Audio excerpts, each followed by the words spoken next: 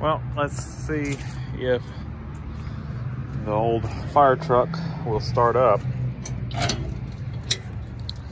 I did disconnect the batteries just to be safe.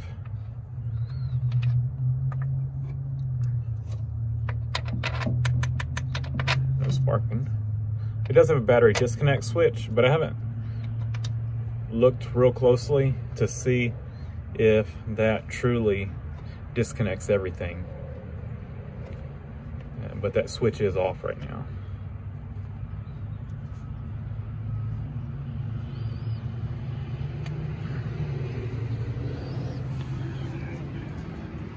A little bit of rust in there. We'll do a full overview of this thing at some point, but not right this minute. All right, let's see.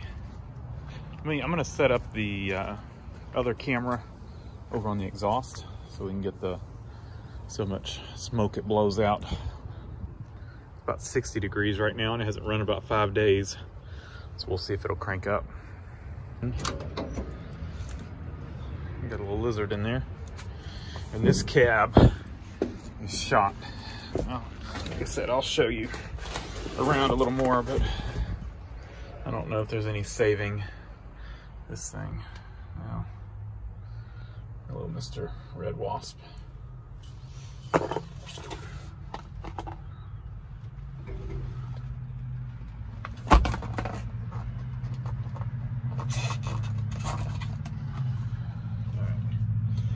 Mr. Red Wasp is no longer a threat. Alright. Well, maybe he is.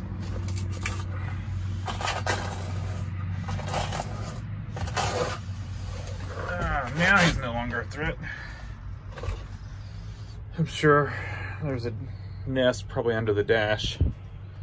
All right, so let's uh, start this thing up.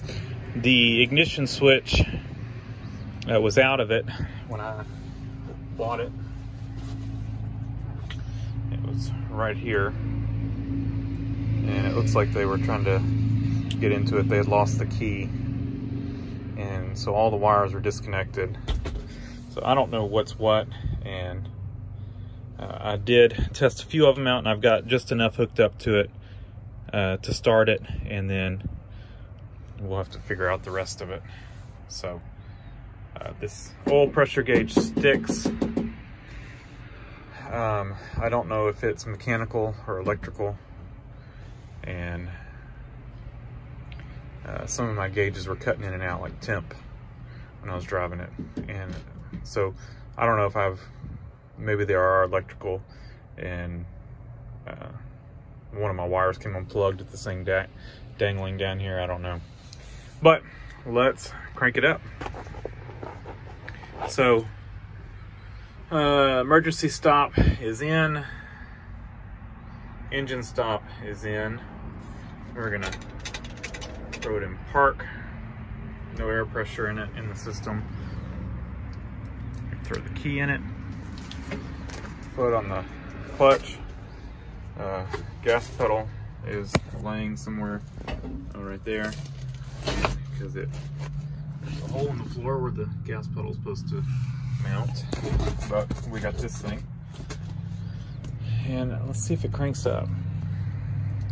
I don't know how charged the batteries are.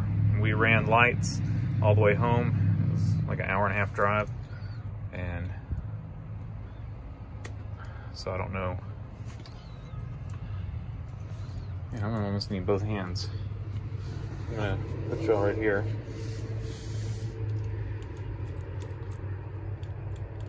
I got nothing. Did uh did my ignition wire come undone? Oh, I got nothing because let me flip this master disconnect on. There. Hold y'all here.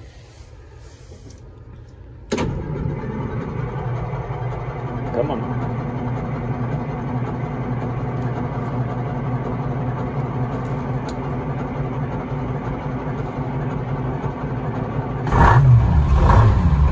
There.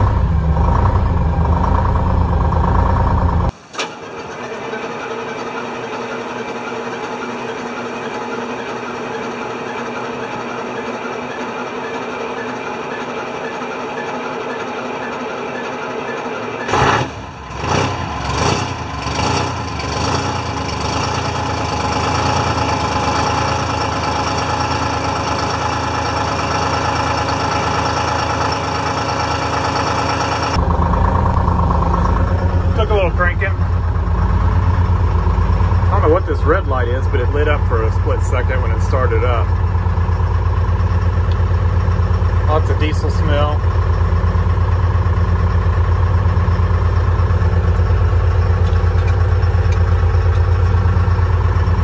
We're gonna have to let the uh,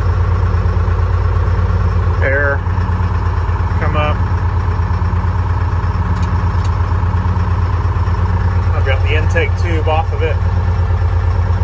The reason I did that was uh, when I was cranking it, I wanted to be able to, like I said, I've got emergency stop that does work, the flapper, but uh, I had to also, there was a license plate sitting here, and that would fit perfectly over the air cleaner hole if it did run away to cut off air to it. And so I just, I haven't put that back on it. Just wanted to make sure we were good shape before I did. So I'm gonna let it run for a little bit, build up some air pressure so we can take the parking brake off. And then I'm gonna move it over to my driveway. And then uh, maybe have time today, I'll do an overview video or kind of a, we'll take a closer look at this thing and I'll uh, show you the good, the bad, and ugly.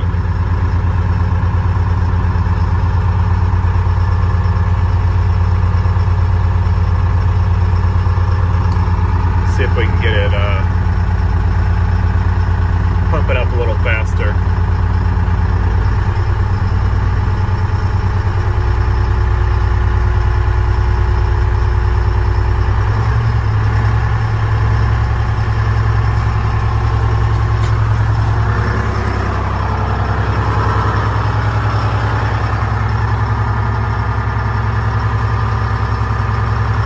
I don't think this one works either.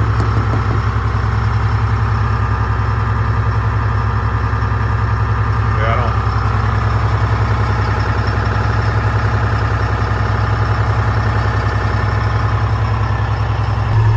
Air pumps up pretty quick.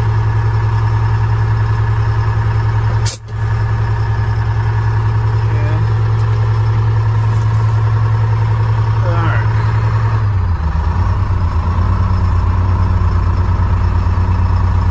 This thing's got a really weird shift pattern. Well, I say it's weird. It is odd to me that reverse is over to left and forward. And it makes the shift from first to second a little more difficult. This takes a while to get used to it.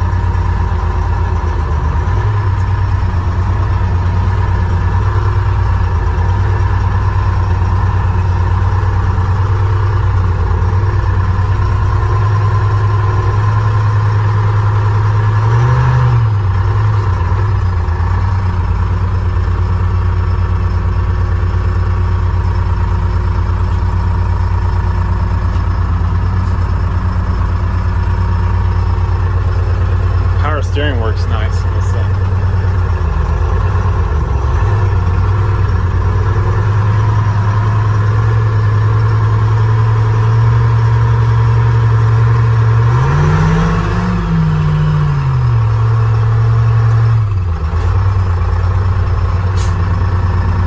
It's got good brakes, but they're they're dragging a little bit, at least on the front. You can tell they're they're kind of stuck now. Definitely in the front.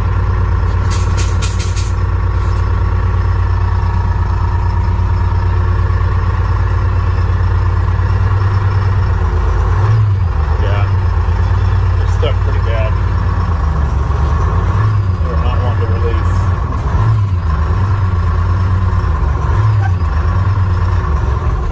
Yeah, it's sliding the front wheels.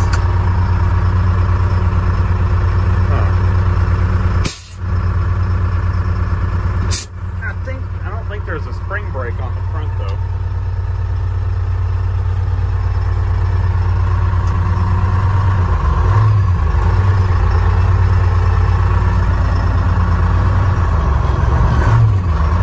Yeah, it is.